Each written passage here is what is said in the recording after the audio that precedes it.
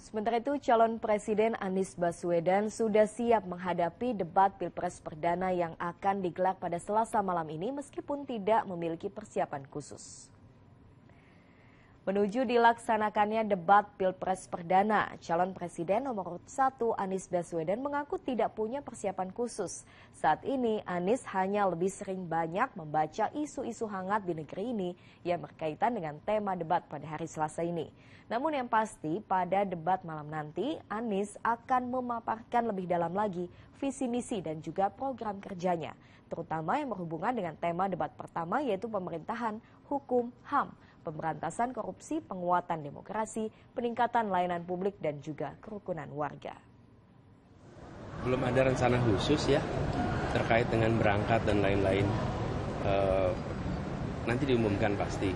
Tapi tentu saja belajar, membaca apa hal-hal yang hari ini dianggap penting terkait dengan persoalan hukum, HAM, terkait dengan demokrasi, tentu harus baca-baca. Itu yang kami kerjakan sekarang.